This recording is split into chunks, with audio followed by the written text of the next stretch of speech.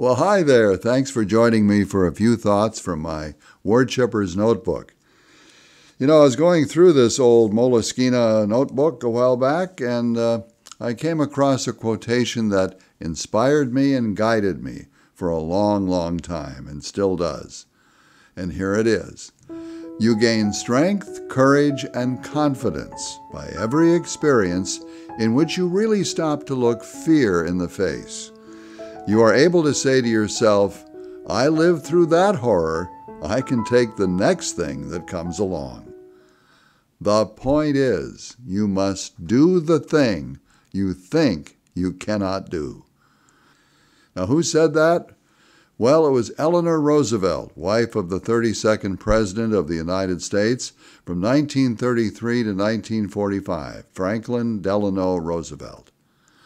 He was the president most responsible, thank goodness, for the creation of Social Security, and we want to keep that. Here's something, too, on how to be happy by Pascal, the 17th century French philosopher.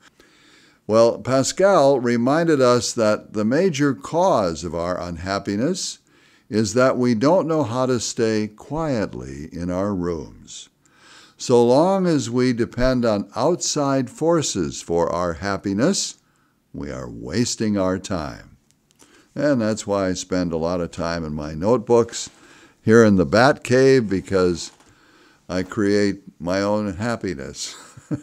I hope I create some for you. And speaking of modern, everyday fears, including the fear of growing old, here's something you can do about it.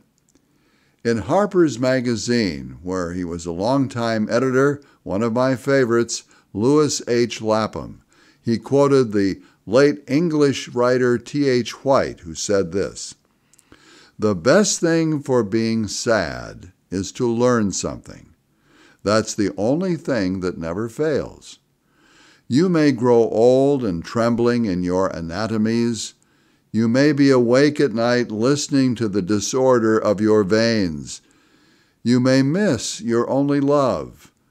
You may see the world about you devastated by evil lunatics.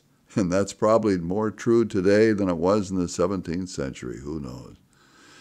But the only thing, then, he says, is to learn something. That's the only thing which the mind can never exhaust never be tortured by, never fear or distrust, and never dream of regretting.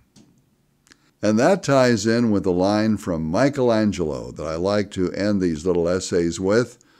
At age 87, the legendary Italian sculptor and painter said this in Italian, Ancora imparo. In English, that means, I am still learning.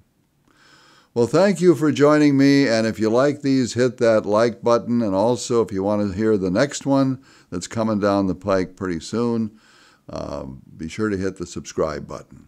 Thanks a lot for stopping by.